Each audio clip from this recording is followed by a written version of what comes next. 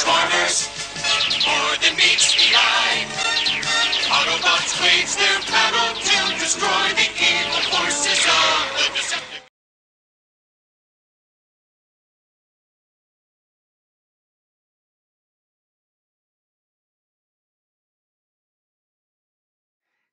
Hello everybody, this is Toys are Russ. For this special figure showcase, we're going to look at the 1985 Series 2 Autobot Red Alert.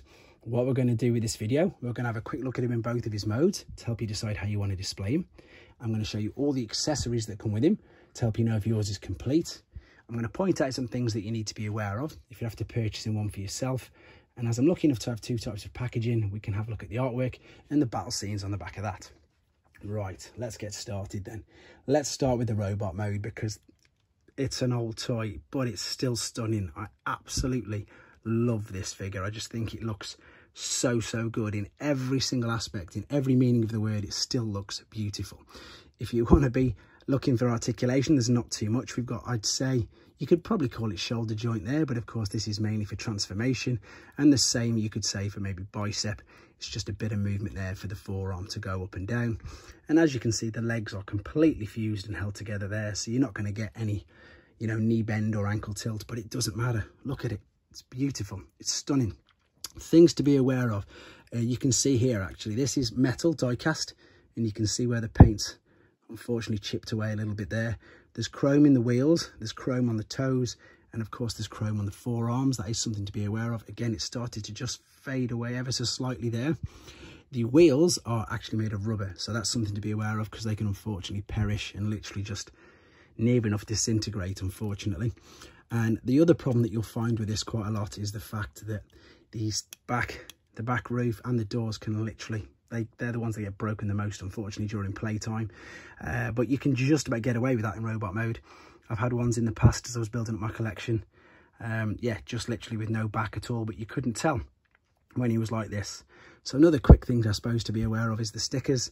If it's missing the stickers, it's not too bad. You really do need this one on the front though. Um, but quite a few things to be aware of. I think it's just because it's such an old toy. Let's have a look at the accessories that come with him before we do the um, alternate mode. Right, there's his gun. That's what he comes with.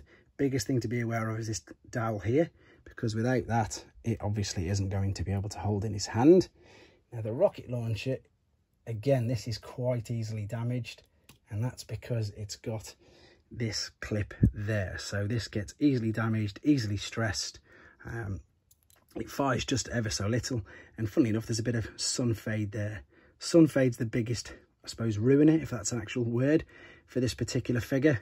Um, and you came, he came with three of these bullets, and these did come on a sprue as well, if you're lucky enough to have them.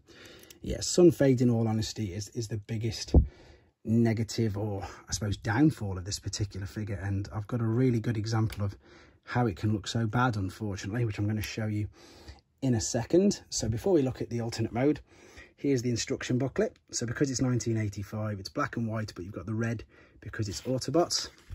So we'll fold this out. There you can see the missiles that would be on a sprue.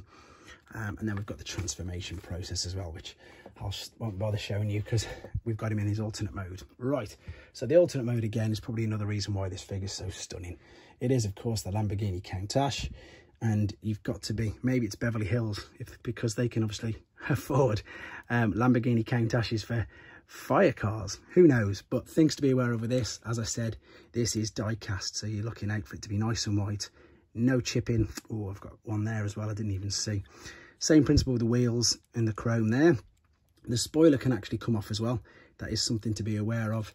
Uh, it does detach and sometimes you'll find that these are missing as well, the siren lights. There's another big chip there I can show you.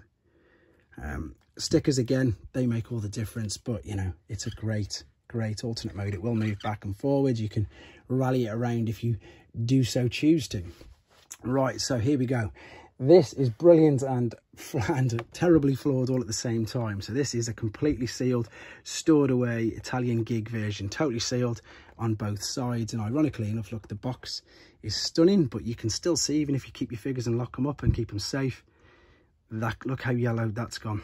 That's what the plastic can do. And it's not to do with the sun. Sometimes it's to do with the chemicals in the plastic and that's why it's changed colour for me unfortunately. For those of you who are unfamiliar with gig gig is the italian company that made transformers in italy licensed by takara and you can see there they call it transformer as well so it's not a spelling mistake it's how they were sold in italy and they also changed the names this one they didn't really alter too much you can see it's just called alert and the rest of the languages in Italy. I'm not going to hold that box much longer. I'm going to just quickly show you everything else that I wanted to on this standard Hasbro box. So there's his normal name.